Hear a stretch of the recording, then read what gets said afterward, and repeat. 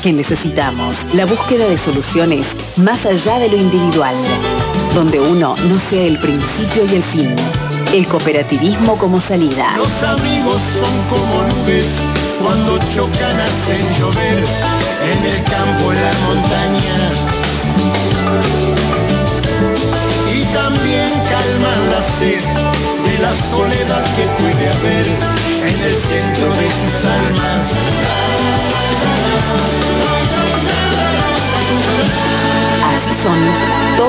Uno.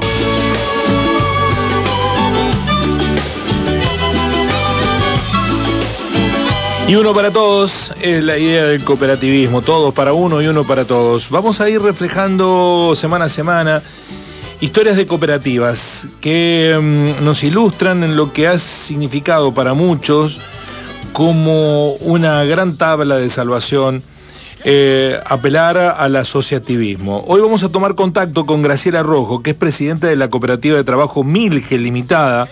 Todo lo que pasa por una máquina de coser lo hacemos, dicen como consigna. Eh, la saludamos, mi nombre es Guillermo Jeremía, el programa Así son las cosas de Río Cuarto. Graciela, un gusto, buen día, ¿cómo le va? Buen día, buen día, Guillermo. Eh, bien, bien, porque estoy conversando con ustedes. Bueno, muchas gracias. ¿Dónde está esta cooperativa de trabajo? ¿Dónde tiene sede de funcionamiento y desde cuándo hacen que están eh, funcionando? Mira, eh, nosotros estamos en Santa Isabel, primera sección. Eso queda ubicado en la avenida Ejército Argentino, eh, que es el camino Altagracia, la ruta 35. Bien, ¿y se constituyeron cuándo? Empezamos como grupo asociativo en 2009. El proceso como de costumbre y en 2011 tuvimos la matrícula. Desde entonces estamos en, en este camino, luchando, disfrutando y poniéndole ganas. Bueno, eh, ¿producto de qué fue eh, la acción cooperativa que emprendieron? Perdón, no escuché. No, ¿producto de qué? ¿Cómo es que se dio la constitución de la cooperativa? Mira, un grupo asociativo, un grupo de mujeres que yo en lo personal tenía mi nieta. Estas otras mujeres tenían eh, sus hijas practicando patín artístico. Por ende, todas esas cosas son muy costosas. Yo desde joven había tenido experiencia en máquinas industriales, cortado y todo esto, porque una hermana mayor tenía un taller. Así que se me ocurrió un día empezar a hacer uh, para mi nieta. Y así, este, conversando y, y manteniéndonos y haciendo números, entonces les enseñé a coser, cosíamos todas con la misma máquina y después me gustó eso de trabajar juntas, ese ambiente de, familia que se forma. ¿Y hoy cuántas son? ¿Cuántas empezaron y hoy cuántas son? Mira, eh, empezamos eh, cerca de 12, nos constituimos como grupo asociativo en la municipalidad, en la Secretaría Social, y éramos 22. Después, al poco tiempo, tuvimos un incidente delictivo y nos llevaron todo, literalmente todo. Una máquina y la, cocina. Lo único se alcanzó a salvar que ya estaba en el patio para llevarse. Pleno día, estábamos en una reunión de cooperativa. Y bueno, de ahí, lógico, el 90% no tenían necesidad económica, sino su proyecto era seguir haciendo ropa para las nietas, entonces eh, me quedé sola. eh, con dos, dos personas que, bueno, me hicieron compañía por, por la amistad que se había formado. Y hoy, hoy somos aproximadamente entre eh, fijas en el taller y talleres externos que las mujeres no pueden venir al taller porque o cuidan nietos o tienen hijos chicos o, son mayores y están imposibilitadas por su salud, por el desgaste que los años nos, nos traen, eh, trabajan en su casa. Y más o menos seremos unas 18, más o menos 20. La verdad que siempre se suma alguien, se va una, suman dos y así. Y, y, ¿Trabajan a pedido? ¿Tienen un compromiso de producción permanente? ¿Cómo van regulando la tarea?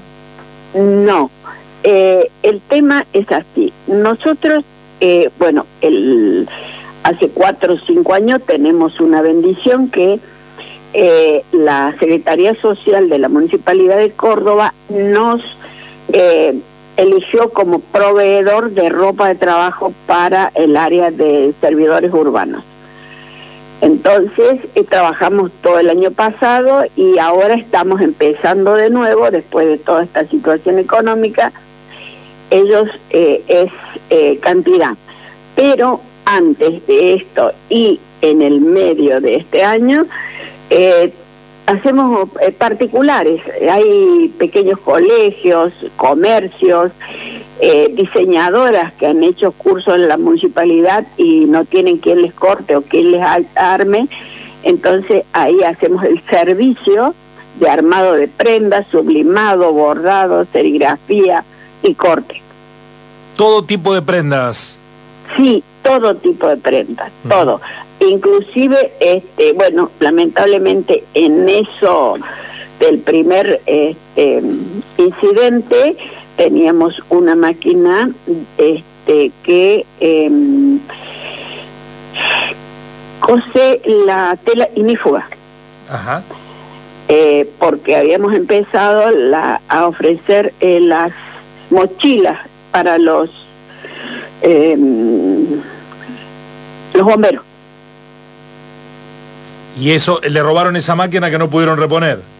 No, no, es costosa y es importada, es muy difícil de conseguirla. Cuando uno va a Córdoba, ve a la personal de higiene urbana, eh, mujeres y hombres limpiando las calles de la ciudad los fines de semana. esa ropa en celeste la hacemos nosotros. y azul la hacen ustedes.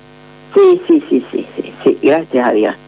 Y después hay camperas de abrigo también. También hemos hecho este en algún momento para el shop eh, el coach que le dicen, que tienen los chicos también salen, pero ellos en el casco céntrico, el Molino Minetti cuando estaba aquí en, en Barrio Ciudadela, ahora está prácticamente cerrado, es depósito. Y así, en Cliva también, cuando eh, basura, la recolección de basura. Eh, el escenario que las convocó no fue la necesidad económica, pero hoy es fuente de sustento para muchas mujeres la cooperativa. Sí, para todas. Eh, yo ya tengo 72 años y obviamente tengo las necesidades de cualquier persona mayor a mi edad. Entonces, este, también para mí es una gran ayuda el poder estar sana y poder trabajar también. Eh, ¿Se puede ser competitivo eh, trabajando desde una cooperativa en un mercado tan, tan complicado como el textil? Sí, sí, sí, sí, sí. Además que eh, lo que más eh, nos favorece es la calidad. Trabajamos ropa industrial, conocemos mucho de tela, entonces tenemos ya mayoristas que nos provee de primera calidad y cuando tenemos pedidos grandes con un color determinado, nos traen toda la mercadería, queda en el depósito y nosotros los vamos retirando este, a medida que la necesitamos. Tenemos mucha bendición de Dios. Eh, Graciela, eh, en este contexto, eh, porque hay gobiernos que promueven lo cooperativo y hay otros que lo desalientan. ¿Se les hace más difícil? Nosotros, desde que iniciamos, estábamos en el gobierno municipal. Yo siempre he tenido contacto con el municipal porque es el que uno más puede llegar. En la época de Jacomino eh, hemos tenido muy mucha ayuda. Inclusive el, en esa en esa gestión creo que era el último o el segundo año, el segundo, el tercero o cuarto año, eh, nos compraron una máquina. Eh, en ese tiempo era mucho dinero, mucho dinero para nosotras que habíamos perdido todas las máquinas. Y, ellos nos eh, formaron como grupo asociativo para tener una figura legal y poder hacernos esa donación. Y, y después nos incentivaron que hiciéramos los cursos de cooperativismo y por eso hicimos, no fue por una idea loca nuestra, no, no. Eh, siempre el gobierno municipal, no importa quién esté, siempre apoyó. Esta última gestión de, de Yarlora eh, hemos tenido em, ayudas más puntuales y, más, digamos, eh, en especial en maquinaria determinada que nos facilita a nosotros la producción masiva. Eh, para finalizar, Graciela, ¿qué, ¿qué, han encontrado ustedes en el mundo cooperativo que a lo mejor no, no habían visto con anterioridad? Lo que dije al principio, eh, se forma una familia. Todas nos ayudamos a todas, inclusive tengo varones. Tengo dos varones que cortan, tengo los serigrafistas son varones y bueno, viene una chica también que está aprendiendo y colabora y, y los dos que, que cortan a veces se sientan en la máquina y sacan más producción que las mujeres. ¿Y eso? Y eso, y eso nos hizo poner a nosotros, como digo, en familia. Llega el momento del desayuno, del almuerzo y bueno, y comentamos la situación y cada una da una opinión y, y a veces logramos entre todas darle un punto de vista para esa compañera que tiene una situación y, está asustada porque no se siente fortalecida. Entonces nosotros le hacemos ver que entre todas podemos lograr cualquier cosa. Bueno, hoy Graciela, ¿en qué están trabajando? ¿Tienen producción? Sí, nos han pedido 3.000 chalecos de la Municipalidad de Córdoba, de esos chalecos de gabardina que usan los, los eh, servidores eh, en, algunas áreas. Eh, son de gabardina de 8 onzas, llevan sus respectivos logos y son de muy buena calidad. por eso ellos ya conocen el material en ese rubro y siempre nos piden. Hacemos también camisa y pantalón de gabardina, todo eso para ellos. Pero en este momento estamos con esos chalecos. Felicitaciones, Graciela, por esa, por esa tarea, por ese compromiso y por esa búsqueda de soluciones a, situaciones laborales que a veces son muy complejas. Sí, sí, sí. Gracias a ustedes que nos están haciendo conocer y que uno puede expresar de que mm, cuando uno tiene un proyecto eh, que realmente puede demostrar que es un proyecto serio, el gobierno ayuda. Eh, me gusta porque nos piden reglamentación, nos piden todos los papeles que corresponda, estar en regla, con sueldos, con, con los papeles de la cooperativa, no nos podemos atrasar en nada, los certificamos anualmente y todo eso nos da a nosotros crecimiento, quien dice el día de mañana transformarlo en una empresa social. Bueno, está muy bien trazarse objetivos de futuro y, y pensar en evolucionar eh, y desarrollarse. ¿Cómo se contacta con Milge Limitada, la cooperativa de trabajo textil? En este momento, eh, solamente por teléfono. O sea, este teléfono está disponible a las 24 horas porque este yo hago actividad en la iglesia y sí que son las 11, las 12 y a las 6 de la mañana ya estoy levantada, o sea que en los horarios normales, hasta las 10, las 11 de la noche, que alguien me llame, yo los atiendo, por supuesto. Y bueno, eh, y si no, en, la, en Santa Isabel la calle es Filadelfia 2036, entre Colorado y Cleveland, Santa Isabel, primera sección. Por ejemplo, si le pedimos un eh, equipo, un uniforme para todos los que trabajamos en la radio, usted eh, son materia disponible. Con mucho placer. Bueno. Con mucho placer. Bueno. Sí, sí, sí. Graciela, muchísimas gracias por contarnos la historia de la cooperativa nacida en el... No, al contrario, vuelvo a repetir, a ustedes, a ustedes. Muy amable. Que Dios me los bendiga. Gracias, Graciela. Excelente día.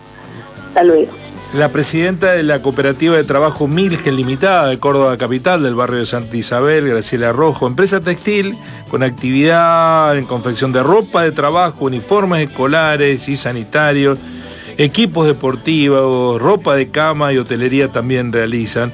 Eh, y además brindan capacitaciones en tejido y textil y se sobrepusieron, habían construido un, eh, un, taller amplio, grande y le robaron todo, se sobrepusieron y salieron adelante. Historias de asociativismo, cooperativas que forman parte de una realidad eh, que permite un amplio tejido económico, social, que hace soportar los momentos difíciles y duros que atravesamos. Así son uno para todos y todos para uno. Y las gracias a verdad